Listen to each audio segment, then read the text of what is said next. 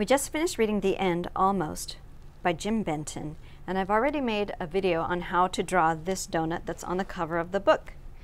And when you're done, you end up with somebody that looks about like this. And if you colored it in, it would look about like that.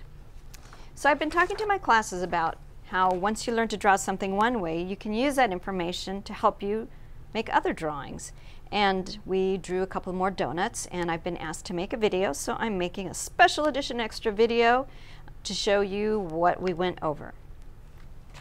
So we drew this donut, but what if we wanted to draw a different donut? So I'm going to show you a couple of different ones. Here's the first one we did after we did the one on the cover. So here's a quick drawing of the one on the cover. And you can see some big differences in that the muzzle is much bigger because he's got a huge smile where this guy does not.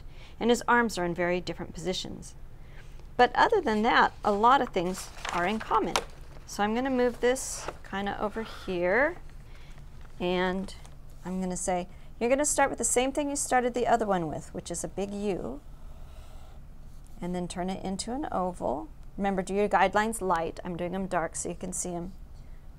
Put circles for the ears. Then, when you're making it how you really want it to look, come up from the side and just attach to the ears and go back because this artist does not separate the ears from the body with lines. Okay, you put a line through the middle to mark where the middle is. Again, you do it really lightly. And then you're going to go ahead and give him legs. Two little quotation marks on this side, two little quotation marks on that side, some slightly curved lines for the socks, and then little bitty shoes because he's got little bitty feet diagonal line for the white toes on his shoes. The tongue of his shoe goes from the toe line to his sock and one shoelace. So all that's the same as what we did on the original guy too. But now is where it changes. The muzzle isn't going to be huge, it's going to be a little circle on his face. So we'll start with the nose just like we did last time. But we're going to just make a little circle. And he's just got a little bit of a dashy mouth, a little bit diagonal, and two little eyes. And then the arms are very different. They're not flying out to the side. His are held thoughtfully in front of him. They meet in the middle, but you can see the top part is shaped like a capital L, and then it just loops around and follows it, and then this is like a backwards L, and meets in the middle and comes back. So I'm going to put a little mark about where the middle is. Start about the midline, do a capital L, loop around and go back up, and then do the opposite on this side. And there you have a more thoughtful donut. And then you can just erase the midline and any connection lines because he doesn't leave them. He keeps them real clean. And if you make these original lines light, then it's easy to erase. So there is our second donut. Now, what if you wanted to make the guy that is burping? Okay, so to make him, the muzzle is big, but it's crooked right? And his arms are down to his side. So those are the main differences. So once again, you're going to go, okay, I'm going to make my U. I'm going to turn it into an oval. I'll make my circles for my ears.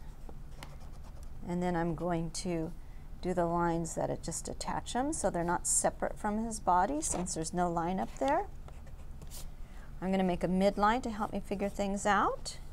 And I'm going to do my little quotation legs with the slightly curved socks, the shoes with a diagonal line for the toes, the tongue line, and the shoelace.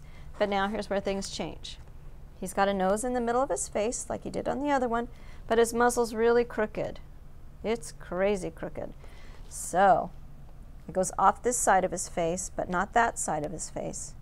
So I'm going to go out and around and down and back. Then he's got an oval for a mouth. He's got three big teeth. Why three? I don't know. And his tongue is hanging out of his mouth. So that comes out and down with a line in it. His two little eyes are just a little bit crooked. And his arms come from the side from about the midline, out and back.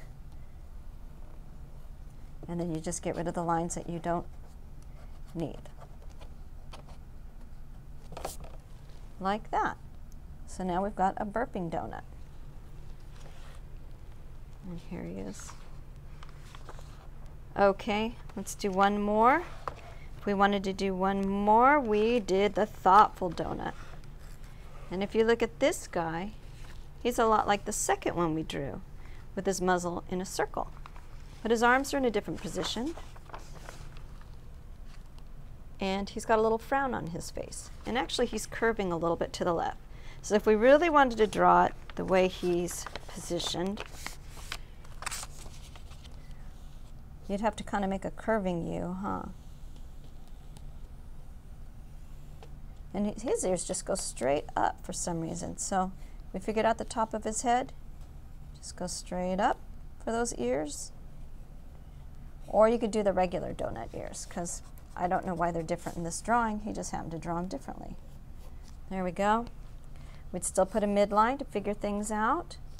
We'd still give him his little quotation mark legs with the little socks and the shoes the toes and the tongue and the shoelace.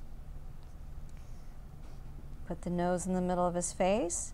We're going to do a muzzle like this guy, a circle one. And he's got a little bit of a frown because he's really thinking. His eyes are little lines. Now, to make hands on the hip, here's the sideline. You do a big bump, a little bump and circle back. Big bump, little bump and circle back. So starting from the midline, big bump, little bump, circle back, big bump, little bump, circle back.